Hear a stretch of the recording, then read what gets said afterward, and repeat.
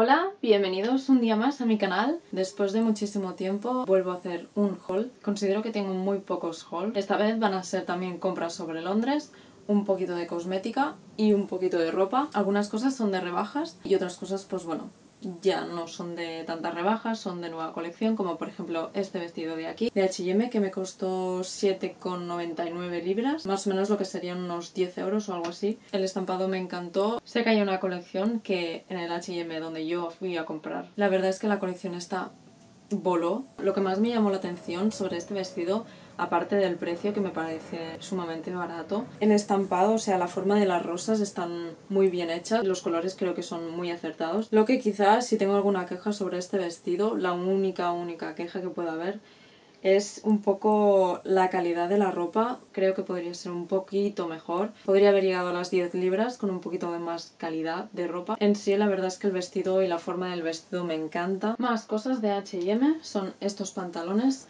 ¿vale? De aquí. Son un poco raros porque tienen, tienen este corte aquí al lado, lo cual no me gustan nada, pero bueno, aún así las rosas, otra vez el estampado de rosas rojas, me encanta, no tienen ni botones, ni cremalleras, ni nada, simplemente la parte de detrás tienen estas gomas de aquí. Lo que sí que voy a hacer, esta parte de aquí la voy a cerrar en ambos lados, obviamente, no sé, cuando vas andando creo que es bastante incómodo no sé, que la ropa se vaya a un lado y a otro y no me gusta nada. El precio de estos pantalones son 12,99. Siguiente prenda de H&M es este mono, otra vez de rosas, también vale 12,99. Es un mono súper veraniego. Total de la factura de H&M 33,97. Creo que está súper bien por tres prendas. Oisho. Son dos básicos, ¿vale? Solo enseñaré uno porque son unos sujetadores. Creo que son muy cómodos. Valen 12,99. La peculiaridad de este sujetador es simplemente que es un push-up que se cierra por delante, así, ¿vale? Y queda así por delante y así por detrás. A mí especialmente me gustan estos sujetadores así por, por esta razón, ¿no? Porque normalmente los otros sujetadores te dejan aquí la marca, te dejan aquí rojo, súper rojo y no sé, como que al final al cabo del día me duele la espalda. Turno para Mango. Son solo dos jerseys, pero en realidad tendrían que haber sido tres. Pero bueno, eh, digamos que el tercero se quedó colgando. Primer jersey de Mango, ¿vale? Muy finito, es este de aquí, ancho, talla S, precio 12,99 y segundo jersey que este también va a recibir sus modificaciones em, estilísticas por mi parte. Me encanta la tela, al igual que este jersey también tiene así, es como un tipo de tela que tiene como un poco de brillo. Quizá en este jersey de aquí lo podéis apreciar más, ¿vale? Este sí, bueno, es un brillo así como plateado. Lo que no me gusta de este jersey es otra vez este tipo de costuras, ¿vale? Cosido como por fuera, no sé qué gracia tiene. Creo que queda fatal. En principio esto es de la colección de deporte. Valía 22,99 y ahora vale 11,49. De mango sería solo estas dos cosas. Últimas compras ya en cuanto a ropa. Esta tienda en concreto está en Knightsbridge, donde está el Harrods. Concretamente creo que está delante del Harrods. Ahora mismo lo que pasa por allí en esta tienda, en todos los cristales, está lleno de carteles de rebajas que es como que tienen que venderlo todo y tal, y está todo súper bien de precio y tal, pero bueno. El tema es que lleva así la tienda durante no sé cuánto tiempo. Pensaba que lo que iba a encontrar allí iban a ser libros, fotografías, y bueno, al final lo que encontré era ropa de muy buena calidad, jerseys a 15 libras. Son estos dos jerseys, el primero de todo es la talla S, es este jersey de aquí, no sé, creo que es súper bonito. Eh, como podéis ver tiene el escudo aquí, ¿vale? De National Geographic. Por si acaso alguien se piensa que, diciendo que es de China, que está hecho en China, piensa que es como fake. Fake y no lo es. Aquí también está el escudo. Y este sería más en plan chandal, ¿vale? Este sí que abriga un montón.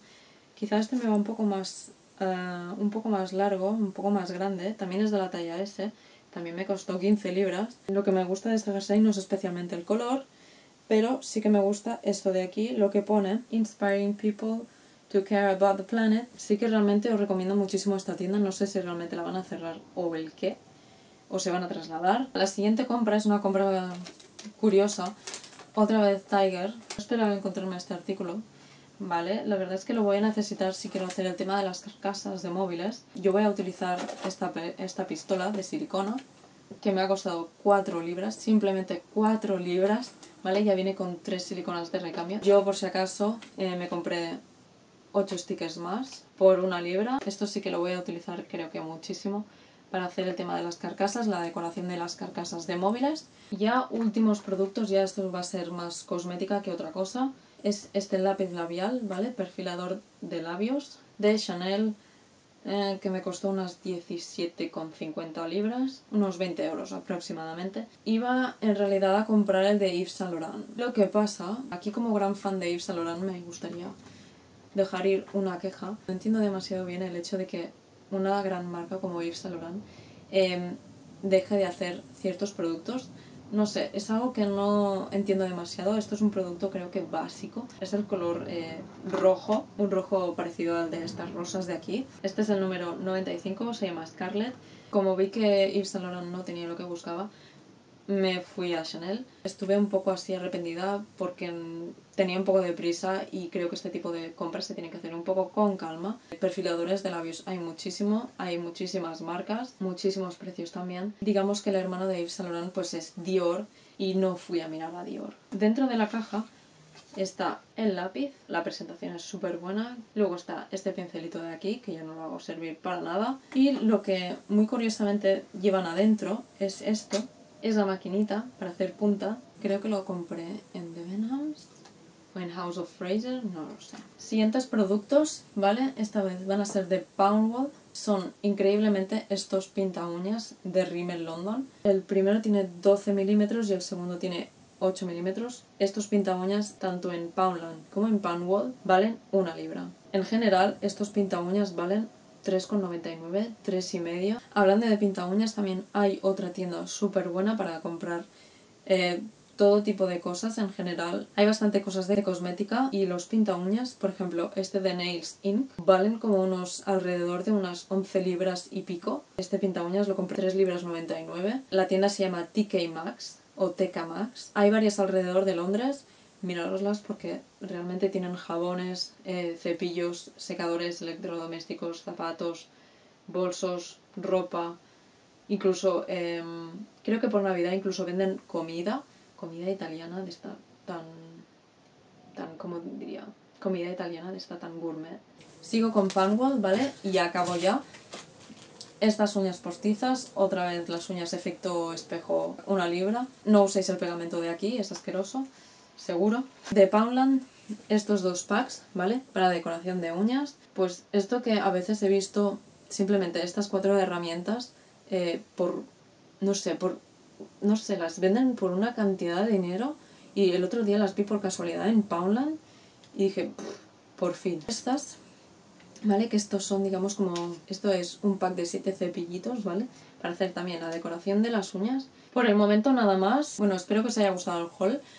Eh, que lo hayáis encontrado interesante. Más que nada, a mí me gusta comentar las peculiaridades de cada ropa o cada, no sé, o de las cosas que compro, las anécdotas que me pasan cuando voy a comprar. Nada más, aquí en Londres, curiosamente, eh, hace sol. En fin, lo dicho. Que tengáis un muy buen día y nos vemos en el siguiente vídeo. Hasta pronto.